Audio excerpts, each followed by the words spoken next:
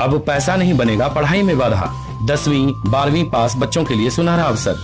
रहना, पढ़ना और खाना बिल्कुल free. B A B com B S C polytechnic B tech B B A B C A सहित नर्सिंग कोर्स में ले निःशुल्क नामांकन। हमारा पता है M S college of education high school के समीप नवगछिया। अधिक जानकारी के लिए संपर्क करें, बेरासी अट्ठाईस, पंचानवे उनहत्तर ज़ीरो पाँच, अठासी तिहत्तर, संतानवे छत्तीस अस्सी। नमस्कार मैं हूँ अनु सिंह और आप देख रहे हैं जीएस न्यूज़। आइए देखते हैं बिहार की बड़ी खबरें। बिहार में मिले कोरोना के तीन सौ बावन नए मरीज़ राज्य में आंकड़ा पहुँचा 14,330 बिहार में कोरोना का महाविस्फोट जारी है। प्रत्येक दिन सैकड़ों की तादाद में मरीज़ सामने आ रहे हैं। कोरोना की चपेट में हर जिला आ चुका है। आपको बता दें कि स्वास्थ्य विभाग की ओर से ताज़ा अपडेट जारी की गई है। इस अपडेट के मुताबिक बिहार में तीन सौ बावन लोग कोरोना पॉजिटिव मिले हैं। इसके साथ ही राज्य में कोरोना संक्रमितों की संख्या बढ़कर 14,330 हो गई है। इसके साथ ही बिहार में अब तक कोरोना से 109 लोगों की मौत हो चुकी है। मझधाड़ में फंसे मांझी हिंदुस्तान आवाम मोर्चा महागठबंधन में कोऑर्डिनेशन कमेटी की लगातार मांग करता रहा। इसको लेकर हम के राष्ट्रीय अध्यक्ष जीतन राम मांझी अपने दल की कोर कमेटी की बैठक करने वाले थे, लेकिन राजधानी में दोबारा हुए सात दिनों के लॉकडाउन को देखते हुए फ़िलहाल यह बैठक रद्द कर दी गई है। चुनावी मौसम में पार्टियों के लिए लॉकडाउन का झटका। राजधानी में सात दिनों के लॉकडाउन की शुक्रवार से शुरुआत हो गई है। इस दौरान राजनीतिक दलों के दफ्तरों पर भी ताला लटका है। राष्ट्रीय जनता दल में पिछले कई दिनों से लगातार हर दिन कार्यक्रम का आयोजन हो रहा था। कोरोना संक्रमित पटना की सड़कों पर भटकता रहा। अस्पताल ने नहीं किया भर्ती। सरकार ने कोरोना संक्रमण को फैलने से रोकने के लिए जहाँ एक तरफ़ बड़े कदम उठा रही है, वहीं गुरुवार को फुलवाड़ी शरीफ का एक संक्रमित कोरोना पॉजिटिव का रिपोर्ट लेकर पटना की सड़कों पर भटकता रहा। क्वारंटाइन सेंटर जाने के लिए ऑटो और बस का भी सहारा लिया। लेकिन पॉजिटिव मरीज़ में किसी तरह का लक्षण नहीं देखकर किसी को यह भनक तक नहीं लगी कि पड़ोस में बैठा युवक कोरोना पॉजिटिव है। लॉकडाउन को लेकर सभी धार्मिक स्थल पूरी तरह बंद। राजधानी में बंदी के दौरान कोई भी व्यक्ति धार्मिक स्थलों पर नहीं जा सकेगा। हालाँकि पहले की तरह श्रद्धालु भगवान का दर्शन ऑनलाइन कर सकते हैं। कोरोना संकट के बीच चुनाव नहीं चाहते हैं चिराग। बोले, बड़े आबादी को खतरे में झोंकना ठीक नहीं। कोरोना संकट के बीच चिराग पासवान बिहार में विधानसभा का चुनाव नहीं चाहते हैं। इसको लेकर चिराग ने कहा कि चुनाव को लेकर बड़ी आबादी को खतरे में झोंकना ठीक नहीं होगा। चुनाव आयोग से फैसले पर विचार करने का किया अनुरोध। एलजेपी के राष्ट्रीय अध्यक्ष चिराग पासवान ने कहा कि चुनाव आयोग को भी इस विषय पर सोचकर निर्णय लेना चाहिए। कहीं ऐसा न हो कि चुनाव के कारण एक बड़ी आबादी को खतरे में झोंक दिया जाए।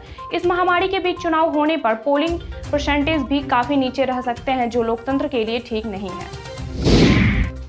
बिहार में भारी बारिश के बाद जलमग्न हुआ अस्पताल, बह गया कोरोना जाँच के लिए लिया गया सैंपल। भारी बारिश का कहर कोरोना जाँच पर भी पड़ा। आड़ा सदर अस्पताल परिसर इस कदर जलमग्न हुआ कि कोरोना जाँच के लिए दो दिनों का कलेक्ट किया गया सैंपल पानी में बह गया।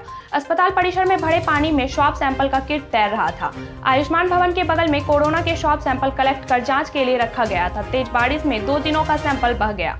इसके बाद जो अस्पताल प्रबंधन में खलबली मच गई। बाद में स्वास्थ्य विभाग के अधिकारियों को सूचना मिलने पर पंप लगाकर पानी निकाला गया।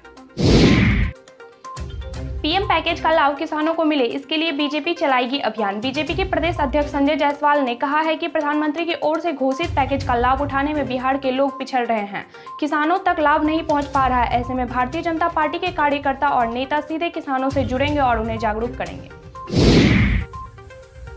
सीबीएसई ऑनलाइन क्लास में अनुशासन पर मिलेंगे अंक. असेसमेंट में किया गया बदलाव. अभी तक स्कूल की गतिविधियों पर आंतरिक मूल्यांकन किया जाता था, लेकिन अब घर के ऑनलाइन क्लास को भी आंतरिक मूल्यांकन में शामिल किया जाएगा.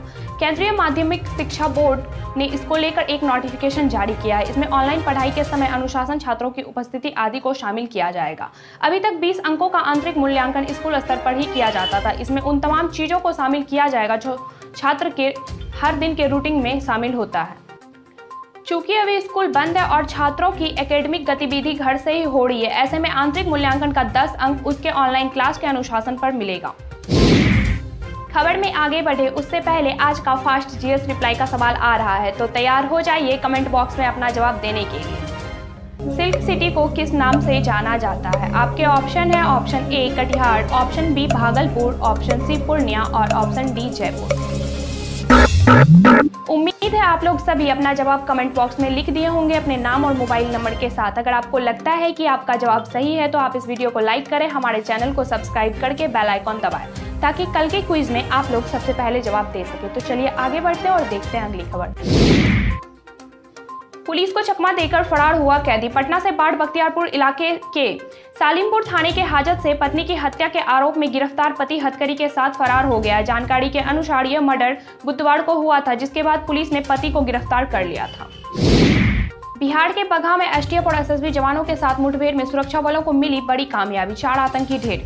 ज़िले के बगहा के हरनाटाड़ स्थित वाल्मीकि टाइगर रिज़र्व के जंगल में एसटीएफ और एसएसबी के जवानों और नक्सलियों के बीच मुठभेड़ में चार नक्सली मारे गए। एसटीएफ और एसएसबी की संयुक्त कार्रवाई में पुलिस के जवानों को ये सफलता मिली है। कई घंटों तक चले मुठभेड़ के बाद आज सुबह पुलिस ने नक्सलियों के मंसूबों को ध्वस्त किया है। चार नक्सलियों को मार गिराया। मौके पर कई थानों की पुलिस पहुँच चुकी है।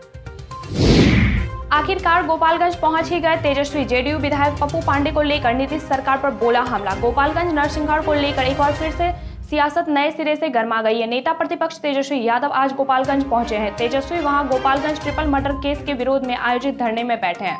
गोपालगंज पहुँचे तेजस्वी यादव ने जेडीयू विधायक अमरेंद्र पांडे उर्फ़ पप्पू पांडे के बहाने नीतीश सरकार पर जोरदार हमला बोला है। तेजस्वी यादव ने कहा कि गोपालगंज का बच्चा बच्चा जानता है कि हत्याकांड को किसने अंजाम दिया। उसके बावजूद भी सरकार अपने विधायक को बचा रही चलिए, अब वक्त हो चुका है कल के प्रश्न का सही जवाब जानने का। कल के प्रश्न का सही जवाब है ऑप्शन डी, छत्तीसगढ़। जिन्होंने भी सही जवाब दिए, उनको बहुत बहुत बधाई। उनमें से जो बीस ने सबसे पहले जवाब दिए, उनके नाम कुछ इस तरह से हैं। अगर यूट्यूब की बात की जाए तो जिन्होंने सबसे पहले जवाब दिए, उनके नाम हैं चंदन कुमार। उसके बाद है मलिक मौर्य, संजीव कुमार, शिवम कुमार एम टी अनबीर आलम, सत्यम शिवम, चंद्रभूषण, रजनीश रंजन, अभय शाह। इनके अलावा अगर फेसबुक की बात की जाए तो जिन्होंने सबसे पहले जवाब दिए उनके नाम हैं परशुराम कुमार। उसके बाद है मनीष यादव, सीमा विकास कुमार एम डी अंजार, तनवीर फारूकी रणवीर कुमार, प्रतिभा झा, अक्षय राज, मिथुन पटेल, सत्यम यादव, पुष्पेश पड़ासर। बहुत बहुत धन्यवाद सबको।